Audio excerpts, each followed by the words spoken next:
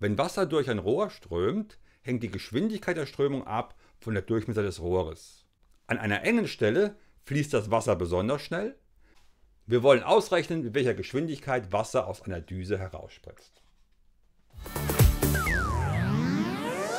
Hallo und willkommen zu Basiswissen Physik. Unser Thema heute ideale Strömung, also Strömung eines inkompressiblen Fluids. Eine Wasserstrahlpumpe nutzt den eben erwähnten Effekt der hohen Düsengeschwindigkeit zur Erzeugung eines Vakuums. In einer Wasserstrahlpumpe fließt Wasser aus einem Hahn durch ein Rohr mit 1 cm Innendurchmesser, das in einer Düse mit 2 mm Innendurchmesser endet. Der Druck am Hahn beträgt 1 bar, der Druck hinter der Düse 0,5 bar. Mit welcher Geschwindigkeit tritt das Wasser aus der Düse aus?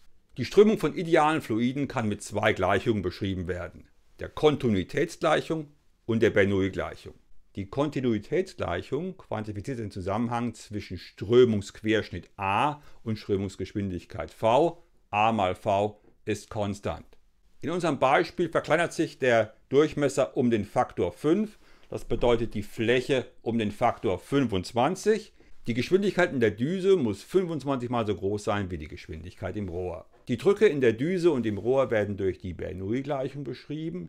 Diese kann aus dem Energieerhaltungssatz abgeleitet werden und sie liefert für die Druckdifferenz zwischen Düse und Rohr die Beziehung Rho halbe V2 minus V1 Weder V1 noch V2 sind in unserer Aufgabe bekannt, aber wir haben ja jetzt zwei Gleichungen mit zwei Unbekannten, nämlich die Bernoullische Gleichung und die Kontinuitätsgleichung. Wir setzen die Kontinuitätsgleichung in die Bernoulli-Gleichung ein.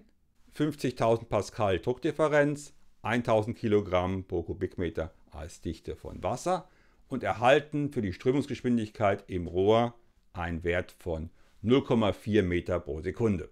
Die Strömungsgeschwindigkeit in der Düse ist nach der Kontinuitätsgleichung 25 mal so groß, also 10 Meter pro Sekunde.